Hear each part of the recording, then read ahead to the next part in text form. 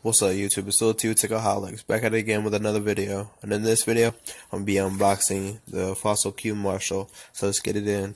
Keep it on the level, keep it on the level. I'm climbing up the ladder while you with me of a shovel.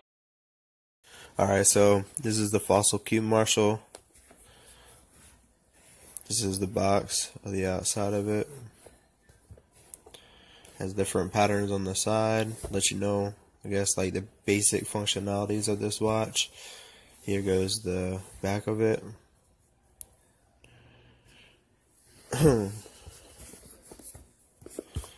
Alright, so let's get into the box. It's kind of hard to open, but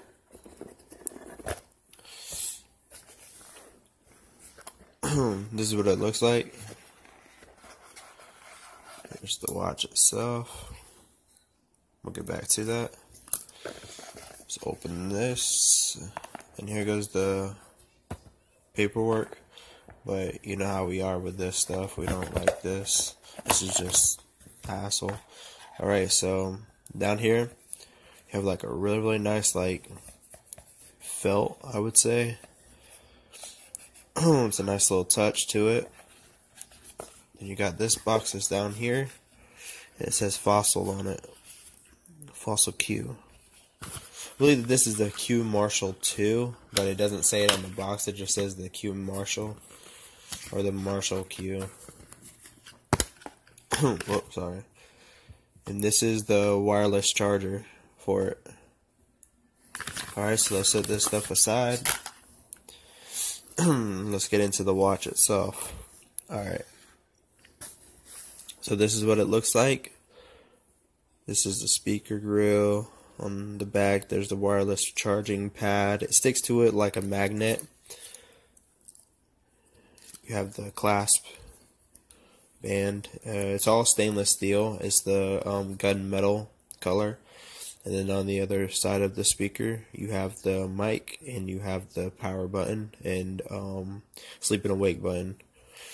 Um, this is actually upgraded to the Wear 2.0 so the button has different functionality. So let's get into the watch. So what it looks like.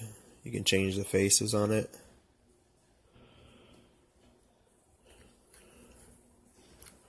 Press that again. Here goes the apps. Show that this is running on 2.0 go into settings, scroll down to system, scroll down to about, Q Marshal,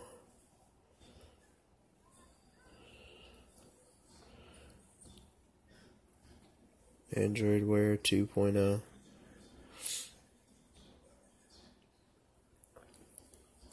All right. so Um, I've had this watch for a couple days now, and the only thing that I'm trying to get used to is using that crown. I'm so used to the, to the older Android, and it's a little bit harder for me to use that because I'm so used to using it as a sleep and awake button. But we'll go ahead and we'll uh, check out a song just so y'all can hear the speaker.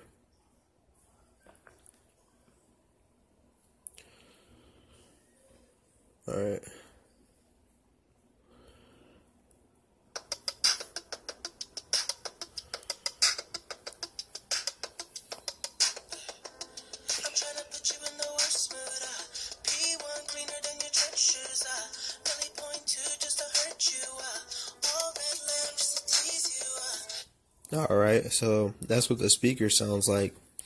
And it's a pretty fast watch. Um, I don't really have any lag in it, if you would say.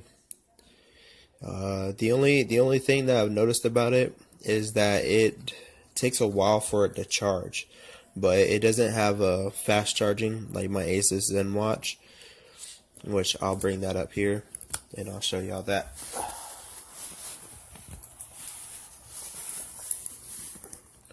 So this is my Zen watch 2. And this is the Q Marshal 2. I guess that the first generation had a bigger screen on it, and um, it it didn't have the speaker functionality in it. But so this is the Q Marshal and this is the Zen Watch. I don't think that I have it turned on. No, it's not turned on. So we'll let it power up real quick and I'll show you all the difference in between the Android versions.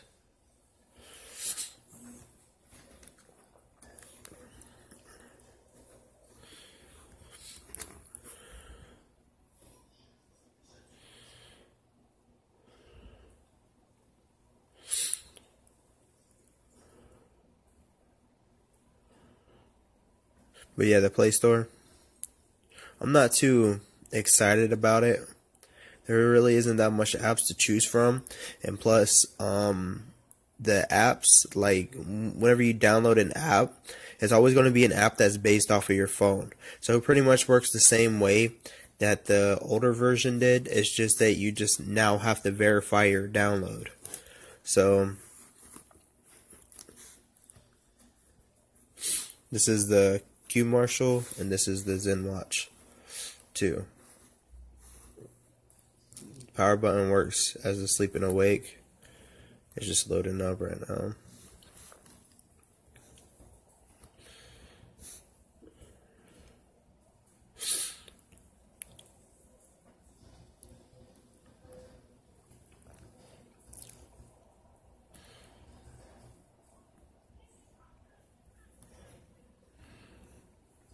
This is running uh, the 6.0, I believe, or 1.5, if I'm correct.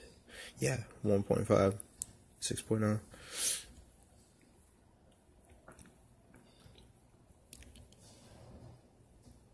But I'm actually gonna do. Uh, I'm actually gonna save that for later. Everything else is about this watch later so I can be able to do uh. I'm going to verse these two watches together, see which one's better, and then y'all give me y'all's opinion. But, um, yeah, that's pretty much the Fossil Q finder, or, sorry, the Q Marshal, and they do have a Q finder, but I haven't had a chance to look at that watch. But, as always, if you have any questions or any comments, let me know. Um, I'm always here to help. And thanks for watching. Like and subscribe.